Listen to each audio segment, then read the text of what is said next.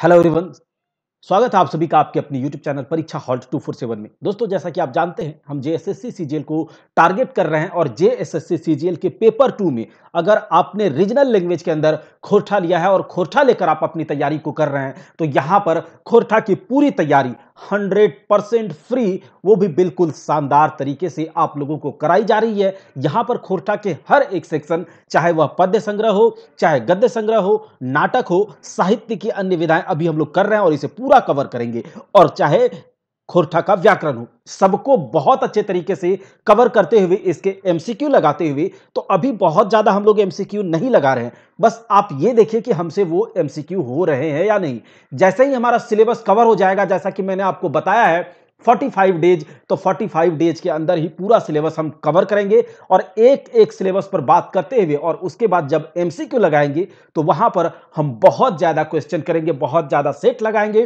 Full length test भी करेंगे। 100 question का एग्ज़ाम से पहले हम लोग एग्ज़ाम कंडक्ट करेंगे। वो भी 20-30 लाइव टेस्ट आपको लो, आप लोगों के लिए बहुत अच्छे तरीके से कंडक्ट करवाएँगे। अगर आप हमारे साथ बने हुए हैं तो बिल्कुल निश्चिंत रहें। चाहे पेपर वन हो चाहे पेपर टू हो चाहे पेपर थ्री का कोई भी सेक्शन हो हम लोग उसके बारे में अच्छे तरह से बात कर रहे हैं उसके स्ट्रेटेजी पर बात कर रहे हैं उसका एक अचूक रणनीति पर बात कर रहे हैं। अगर आप हमारे साथ बने हुए हैं तो बिल्कुल आप निश्चिंत होकर आप केवल अपनी तैयारी पर ध्यान दें और कोई भी कंफ्यूजन में ना रहें, किसी भी प्रकार के किसी भी प्रकार का दुविधा मन में ना पाले, क्योंकि उससे क्या होगा? आपका पढ़ाई और आपका जो तैयारी है, उसका थोड़ा सा पेस कम हो जाएगा दोस्तों। तो सब कुछ आप हमारे ऊपर छोड़ दीजिए और आप केवल अपनी तैयारी करें। दोस्तों, अगर आप चैनल पर नए हैं तो चैनल को सब्सक्राइब करके बेल आइकन को दबाना बिल्कुल नहीं भूलिएगा, क्योंकि आपके सपोर्ट से हमें मेहनत करने की, मोटिवेशन मेहनत करने का एनर्जी मिलता है। तो चलिए दोस्तों, आज हमने साहित्य की अन्य विधाएँ स्टार्ट किया था, जिसमें कि संस्मरण में हमने बोरवा, अड्डा अखईबोर और उड़ी, उड़ गेलक, फुलवा, रह गेलक बाँस, इसको हमने अच्छे से देखा, उसके बारे में देखा कि यह जो संस्मरण होता है, वह क्या होता है? उसमें किन की मतलब क्या लिखा जाता है, किसके मेमोरी के बारे में? जब किसी का देहांत हो जाता है, तब संस्मरण लिखा जाता है। तो यह दो जो संस्मरण है, किनके द्वारा लिखा गया, यह भी हमने बात किया था। आज हम इसके एमसीक्यू को देखेंगे। देखिए, चलिए देखिए, हमें साहित्य की अन्य विधाएँ में जीवनी को पढ़ना है। जीवनी यात्रा वृतांत, शब्द चित्र तो इसके बाद हम जो है शब्द चित्र स्टार्ट करेंगे, ठीक है? संस्मरण कवर करके शब्द चित्र को स्टार्ट करेंगे। संस्मरण होगा, फिर यात्रा वृतांत होगा, तब जाकर के हम जीवनी पढ़ेंगे। तो इस प्रकार से मैंने आपको कल बता दिया था कि कैसे कैसे क्या करना है। इसके एमसीक्यू लगाते चलेंगे थोड़ा थोड़ा और उसके बाद जब पूरा कवर हो जाएगा, फिर आपको जो सेट लगाएँगे, तब आपको मज़ा आएगा कि हाँ मैंने क्या पढ़ा है।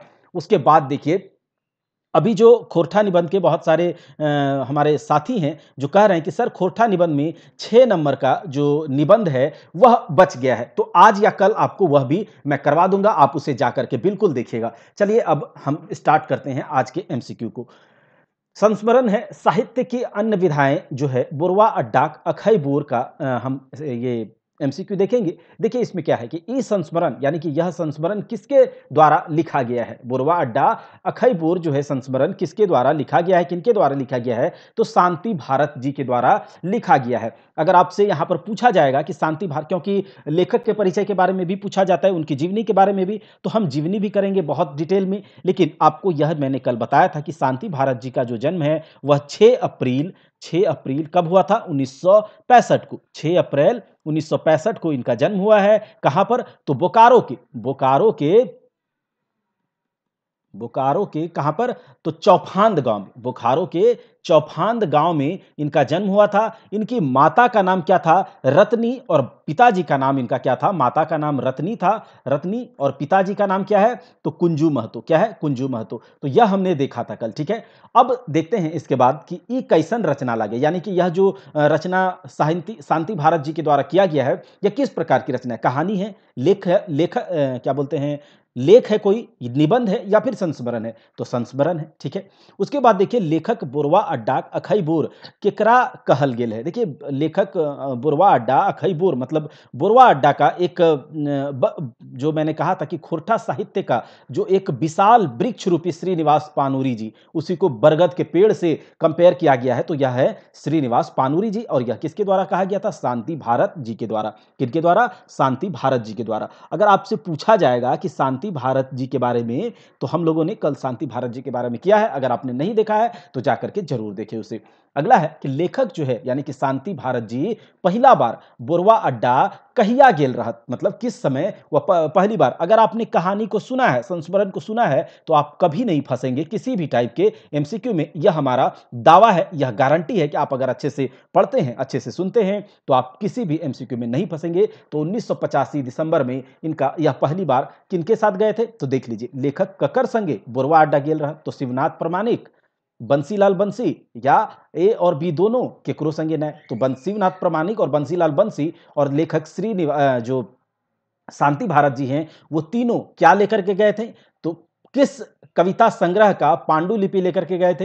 तो रूसल पुटूस जो कविता संग्रह है, उसका पांडुलिपि लेकर के उनको छपवाने के लिए बोरवा अड्डा गए थे और वहीं पर उनसे उनका मिल मतलब मिलने के लिए श्रीनिवास पानुरी जी से वह जाते हैं। श्रीनिवास पानुरी, कब उनका देहांत हो जाता है? तो आपको पता है कि श्रीनिवास पानुरी जी का देहांत जो है, वह सात अक्टूबर उन्नीस सौ छियासी को हो जाता है, ठीक है? जो कि श्री शांति भारत जी ने कहा है कि इस दिन को मैं कभी नहीं भूलूँगा, क्योंकि इस दिन जो है, एक बहुत ही बड़ा बरगद का पेड़ जो है, साहित्य का एक बहुत विशाल वृक्ष खत्म हो गया और खोरठा साहित्य टूअर अनाथ हो गया। आपने सुना था ना कवि संस्मरण को? अब अगला जो है, श्रीनिवास पानुरी जी को किस उपनाम से जाना जाता है? दोस्तों, आपको मैंने बताया था कि हर एक कवि का यहाँ पर कुछ उपनाम है, जैसे कि ए के झाजी को झारपात कहा जाता है, आप लोग जब हम करेंगे तो बात करेंगे वहीं पर। चित्रंजन महतो जी को चित्रा कहा जाता था तो वहीं पर विश्वनाथ दसौंधी जी को राज कहा जाता है, सब कुछ आपको पता है।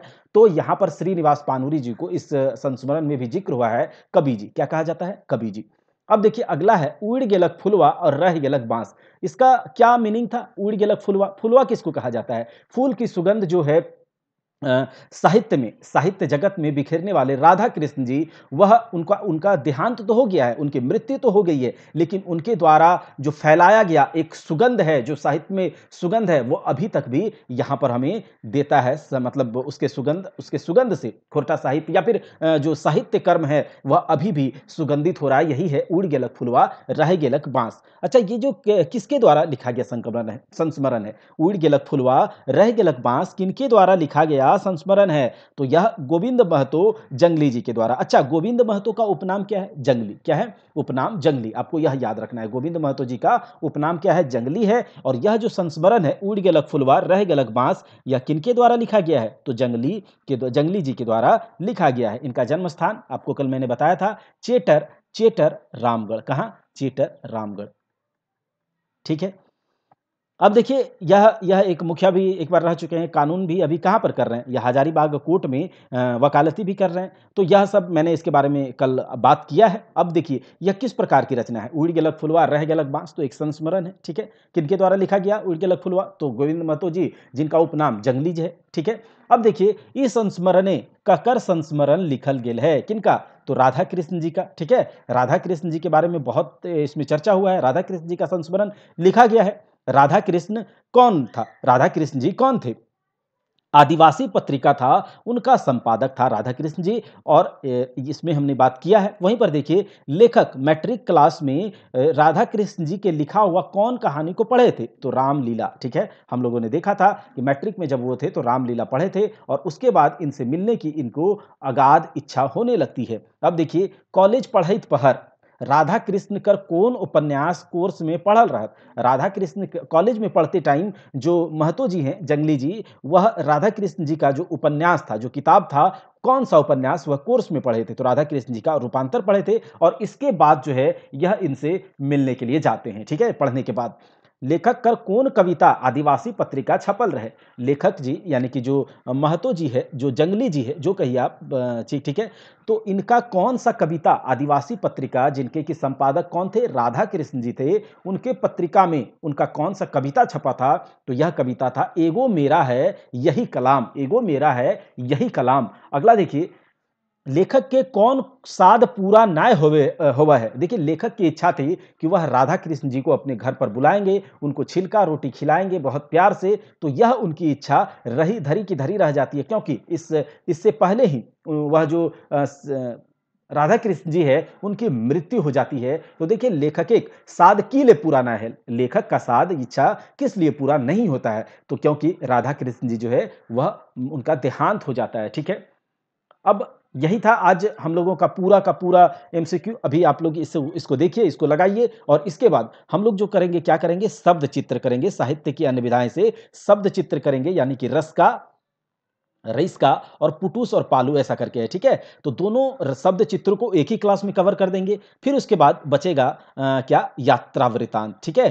तो यात्रा वृतांत देखिए दोस्तों अलग अलग बुक में यह सब छपा गया है तो आपको यहाँ पर हम पीडीएफ फॉर्मेट में आपको प्रोवाइड करवा देंगे। आप अगर टेलीग्राम चैनल से नहीं जुड़े हैं तो टेलीग्राम चैनल का लिंक कमेंट में पिन कर दिया जाएगा। आप वहाँ से टेलीग्राम चैनल से जुड़ जाइएगा। और यहाँ जो साहित्य की अन्य विधाएँ हैं, इसमें क्या है? अलग अलग बुक से लेकर के यहाँ पर इससे पूछा जाएगा। अलग अलग जैसे कि नाइन्थ क्लास का जो दू डायर परास फुल है दू डायर जिरहल फुल टेंथ क्लास का जो बुक है, उन सब खोरठा बुक से भी यहाँ पर जीवनी वगैरह लिया गया है। तो सारे बुक्स को खरीदना पॉसिबल नहीं है। इसी कारण से आपको मैं टेलीग्राम पर पीडीएफ डाल डाल दूँगा। आप वहाँ से टेलीग्राम ले लीजिएगा। टेलीग्राम से पीडीएफ डाउनलोड करके पढ़ाई कीजिएगा और इसके बाद जब हम सेट लगाएँगे तो आप बिल्कुल अपने आप को ऐसा फील करेंगे कि जो खोटा में हंड्रेड में हंड्रेड करने लायक हम लोग हो गए हैं। जब हम लोग सेट लगाएँगे तब तो अगर आप चैनल पर नए हैं तो बिल्कुल चैनल से जुड़िए और चैनल को सपोर्ट कीजिए दोस्तों, क्योंकि चैनल को आप सपोर्ट करेंगे, आपके सपोर्ट और आपके प्यार से ही हमें